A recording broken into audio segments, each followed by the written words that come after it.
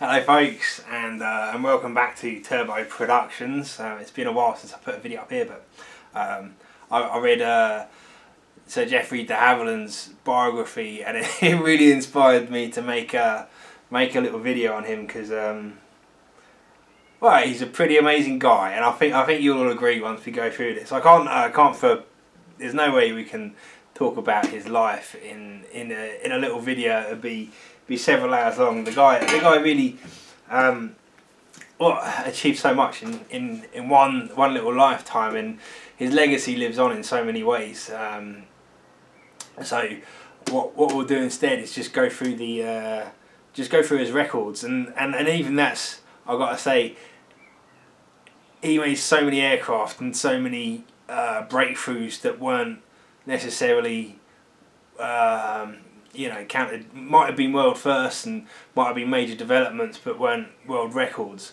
um, but either way we'll, we'll just we'll just have a, look at the records because I think that that pretty much illustrates the point that perhaps he was one of the most important men in aviation like um, well at all really. Uh, you think of how you, how you like I suppose. The, the Elon Musk of his day perhaps.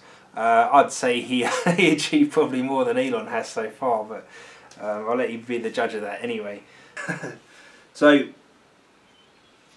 um, Geoffrey Jeffrey built his own plane around about the same time as the the Wright brothers had, uh, had just achieved their first powered flight, and everyone knows the Wright brothers, and I almost they they achieved notoriety because. Um, because they were salesmen, they didn't even. It's a it's a myth that they achieved the first powered flight. Yeah, um, their first powered flight was slightly more successful than the previous ones. Uh, however, um, they're in the history books more than anyone else because they were because they were salesmen basically, and um, Mr. Mr. De Havilland, Geoffrey De Havilland's first flights were very much more successful. He did crash and, and nearly kill himself. Uh, he rebuilt his aircraft and um, was doing circuits in it, and, and soon after that he was uh, selling planes to to the army or the Royal Royal Air Corps as it, it was in those days. Um, it was part of the army. Either way, the first um, first first record of his came in 1916 with the uh, construction of the DH-4, which was a, a single-engined um, bomber, and it was the fastest bomber, and there were 9,000 built. 1919 uh, first regular international services, and this was in a DH-4A, so pretty much the same aircraft, just uh, converted for passenger use. Uh, 1925, world's most popular private aircraft, the um, incredibly beautiful DH-60 Moth.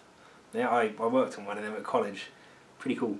Um, and yeah, they were very popular, and succeeded by um, the DH-82 Tiger Moth, which was the world's leading primary trainer. So um, certainly, I, I, know the uh, the Harvard in the states has the the the label as being the pilot maker. You know, it's a America's uh, America's training aircraft, which is uh, you know quite a quite a chunky beast to be learning to fly an airplane in. But the um, the Tiger Moth was certainly what any Commonwealth pilot or any any overseas pilot learning to train in learning training to fly in a Commonwealth country would have been flying, and probably a lot of uh, a lot of overseas air forces were using as well. Um, so a little uh, little biplane with the uh, inverted de Havilland engine. Um, I glad he was making his own engines at this point. You know the the, the um,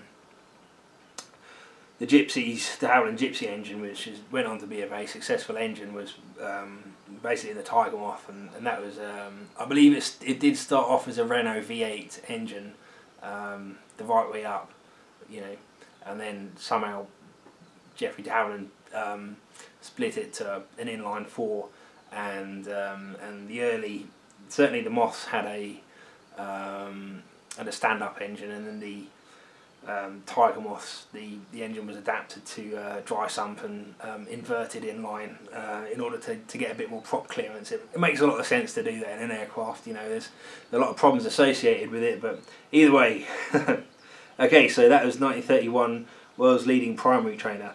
1934, England England Australia air race winner, the DH88 Comet. Okay, so everyone's heard of the, de Havilland Comet, but this is the um, this is not the jet airliner. This is the twin engined um, to de Havilland Gipsy Six Majors, I believe. Uh, beautiful, beautiful aircraft, uh, and that was that was designed purely for, for winning races in the what a lot of people consider to be the golden age of aviation. You know, lots lots of uh, air races going on, like the Schneider Cup that um, famously birthed the Spitfire, um, and uh, and this was the the Australia Cup, I believe. No, is that a is that a sailing race? Either way, England Australia air race. Then 1940s, uh, 1940, world's first shell production process with the de Havilland Mosquito. So that was um, very in interesting construction. You know, it's nicknamed the Wooden Wonder, as I'm, I'm sure you're all aware. But that was um, essentially a cold layout plywood construction. So you'd get um, sheets of veneer and uh, run them off into strips. You'd have a, maybe maybe six inch wide strips, and take these strips over a mould, and uh, and then lay another opposing diagonal um, strip of veneers, and you can you can take a three dimensional shape that way um, you know, and once you've built up um, five, six, seven, eight plies, you've got a very strong fuselage um, with with very little internal structure. So it's probably as close as you can get to a monocoque structure with just uh, with just wood. In 1941, World War II fastest bomber, 7,000 built, again DH-98 Mosquito. Um, and 1943, World War II fastest propeller fighter, DH103 Hornet, and this is actually one of the aircraft I hadn't heard of. So um, didn't see a lot of um, didn't see a lot of action, um, but uh, 470 miles an hour. Yep, fastest propeller fighter. It's basically like a, a miniature, a miniature Mosquito. You know, much smaller fuselage, still with two massive Merlin engines stuck on each wing. Um, sorry, one on each wing. Um, anyway. 1943 again, world's first 500 mile an hour jet fighter, um, DH-100 Vampire, and that had the, de Havilland Goblin um,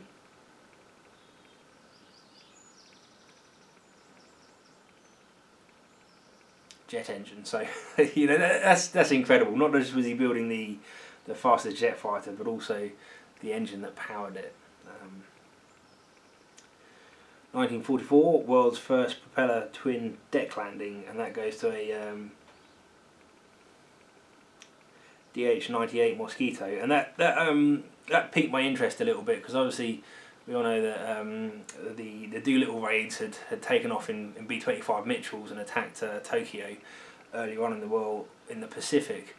Um, but yeah, they they none of those poor buggers ever made it back to the ship, did they? So um, so yeah, the first the first propeller twin deck landing goes to a Mosquito.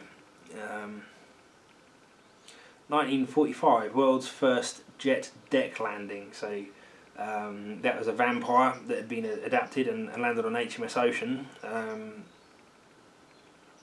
again, the Vampire with um, Mr. de Havilland's Goblin engine. 1946, world's first bonded primary metal structure.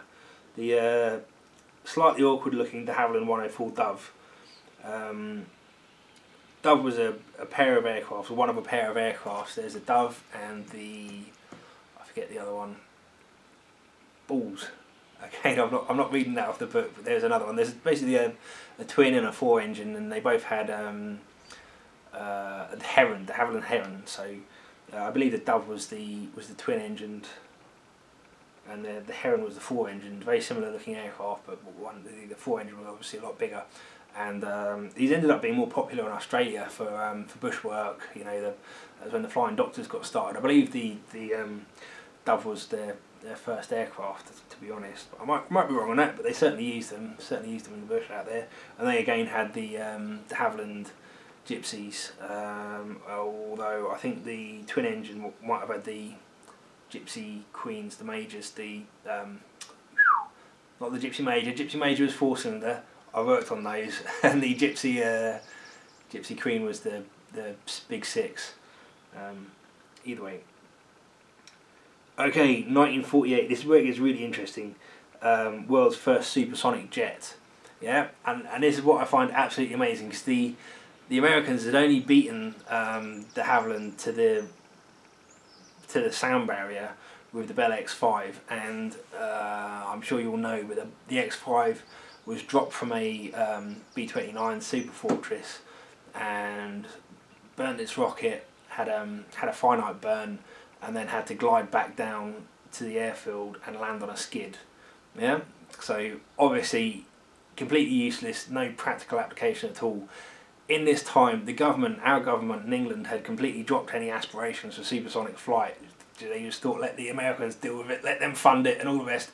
Geoffrey de Havilland privately though, which is one of the reasons I've got so much respect for him. I mean, it doesn't say in here like the a lot of these a lot of these endeavours, a lot of these records are entirely private endeavours. Um, either way, um, just after the Americans broke the sound barrier in the X5, uh, Geoffrey de Havilland, and he managed to achieve the first supersonic jet with conventional takeoff and landing. So um, while the Americans were still messing around with the X5, uh, dropping it off of B-29s, uh, Geoffrey de Havilland was taking off, uh, reaching altitude, um, going supersonic, and then coming down under power and landing properly on its own undercarriage, which I think is a a true testament to um, to the company's company's skill at solving problems and um, being the first, I suppose. Anyway, 1949 saw the world's first jet airliner, the slightly ill-fated DH-106 Comet 1. And 1949 also saw the world's first airliner with powered controls, also the, the Comet 1. And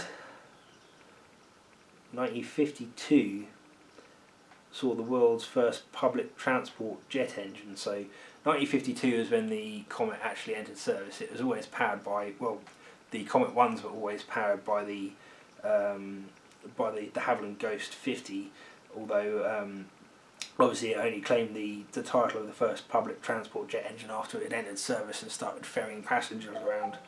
So you know one aircraft, two amazing feats for the same company.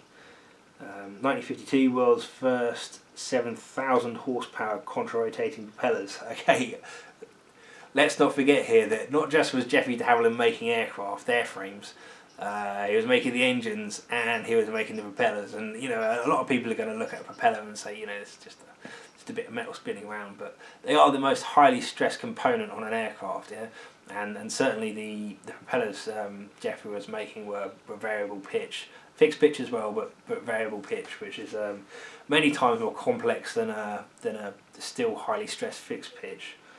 Um, 7,000 horsepower as well, contra rotation. I didn't actually see what was it? Oh, for the for the Saunders Roe Princess flying boat. That was um, again another ill-fated project. Um, what a shame. 1952, world's first jetliner services. Okay, obviously the Comet again with British Overseas Airways Corporation. 1954, world's first homing air-to-air -air missile. What an achievement! So not not just was he building planes, but he was uh, figuring out how to shoot them out of the sky as well. And that goes to the de Havilland Firestreak. Um, that was one of the things I, I, I didn't have a clue about before I read this book. But anyway, um, 1954 again. Uh, world's 1954 was a good year for de Havilland. Uh, world's first 600 mile an hour shipborne radar to jet. I think that means twin jets, as in two jet engines. Radar 2. Anyway, that's the DH-110 Sea Vixen. There's still one of these flying um, under Red Bull colours. It, it's on the airshow circuits in the UK. Uh, looks looks pretty good in Red Bull colours. I'll try and find a picture of that one, stick it up. Um, Sea Vixen's um, twin boom aircraft, so it's a it's an unusual machine all round. But I don't really know much more about it other than that. 1956, world's first turbopump boost of a main rocket, the de Havilland Spectre. I believe that was for the um, either the British space program or the European space program that we as a country joined um, with the French. But yeah, rocket pumps as well, turbo boost pumps. So um, that's that's basically a uh, a impeller pump that's driven by a turbine and the turbine is powered by bleed fuel from the uh, from the from the high pressure fuel is, is bled off and then burnt um, with the oxidizer that's also got a similar pump and uh, you know the, the the product goes over the turbine driving the um, driving the, the the turbo pump if you like. It's almost like a mini jet engine but um, 1957 world's first electric grid wind turbine and that's uh, more specifically de Havilland propellers again. So uh, yeah, another another incredible feat. We've got wind turbines all over the place, and I never knew again before reading this book that Geoffrey de Havilland had actually been the been the first to uh, to build one. 1958, world's first transatlantic jet airliner, again with British Overseas Air, Airways Corporation, and that goes to the Comet 4. So this is a much later Comet. Yeah. By this point, we'd have all the um, all the crashes of the Comet 1 and 2, and uh, they'd fixed the problems and uh, installed. I believe they were Rolls Royce engines in the Comet 4, and it was a, a much better machine. But still, unfortunately. Um, all the problems that had been associated with the first ones, all the all the first non safety critical problems such as the, the maintenance issues of, of working on um, engines embedded in the in the wing root, um, they were they were still there and stayed with the aircraft forever, um, in its other forms as well as the Nimrod, and that was that was one of the one of the things that meant it could never really compete with um, the more traditionally designed. Although I suppose at the time that the Comet was the traditional design, but um, there's a reason engines hang underneath wings on nacelles because it makes it very convenient to work on them. And, and back in those days, turbines needed a lot more work than they do today. 1960, Europe's first heavy space rocket launcher. Mm, it calls it the um, DH Blue Streak, and I'd always thought the Blue Streak was a uh, standoff missile system. Uh, from what I understand of this, it was it was using the the um, the standard standoff missile system as a as a launch vehicle. So the second stage rocket booster for a, for a payload. 1962, world's first trijet airliner the DH-121 Trident. 1962 again, world's fastest jetliner, 600 mile an hour, DH-121 Trident. 1962, Europe's first business jet, DH-125.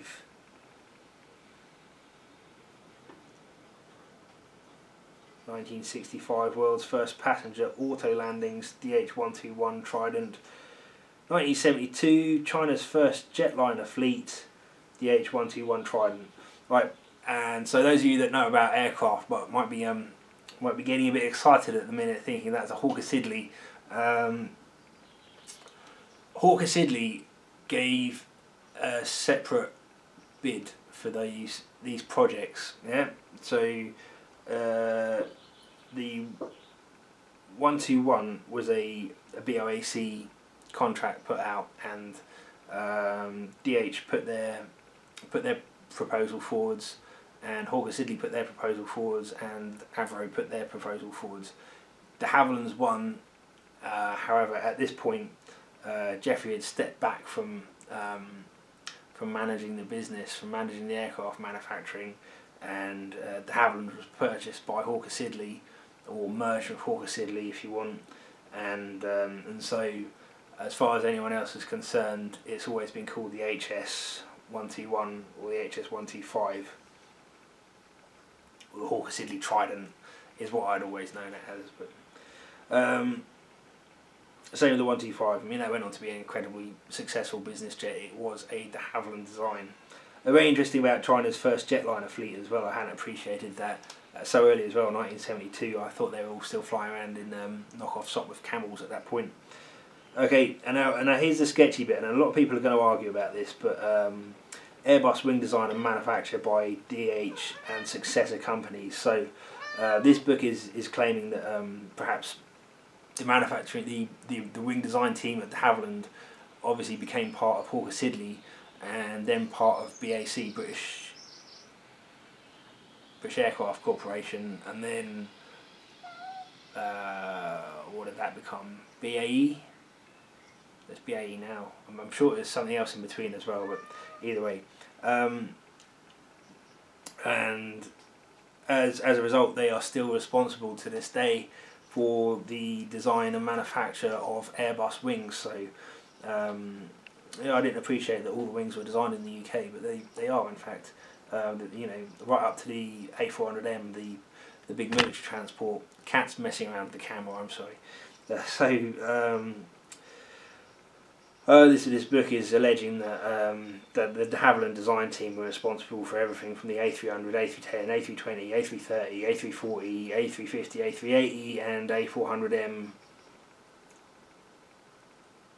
wing designs and manufacture. Yeah, pretty cool. So there's one little um, one little caveat I missed out there. The world's first passenger auto landings, and these these had been performed before, but um, nothing had been certified for category 3 fog. Yeah, uh, and that actually is um, marked down here as BAE, so maybe BAE had, had purchased, um, or BAE was responsible for BEA, sorry, that's British European Airways. Well, that's not BAE, it does get confusing with um, with British aircraft companies because, as you can see there, BEA um, is. Uh, it was originally British Overseas Airways Corporation. That became BEA, and then BEA became BA, British Airways. Um, but also, I think um, Gatwick Airport is managed by a company that's still called BEA, um, and that's a very similar name to BAE. Uh, so it gets you gets you gets your mind going anyway. So that was that was just the quickest possible overview of the of the records that um, Geoffrey de Havilland is responsible for, and we've got to remember here that he began his flying at the very beginning, way before the First World War. Um, you know, in an aircraft he had to build himself, and Um, lived from 1882 to, to 1965 and yeah incredible incredible man incredible man. I really I really do think um, that he deserves one of the top spots um, for some of those achievements as well. Especially the one that the one that strikes me is the uh, is the is the first supersonic jet to take off and land under its own power. Um, and it was it was not just the first supersonic jet to take off and land under its own power, but it was the first supersonic jet as well. Because, like I say, uh, the Americans were still um, still breaking the sound barrier with the X five, which was a, a rocket powered machine. So, um, I mean, just for that, anyone else would be remembered forever and and talked and praised about. But it's it's almost like he was responsible for so much that people just expected it of him. That sounds silly? I don't know. I, I don't know why why history doesn't remember him more as, as the truly truly important man of aviation that he was. Anyway, I hope you all found that interesting. I've, I've certainly learned a lot from this book, and uh, hopefully you've learned a lot too. Okay, goodbye.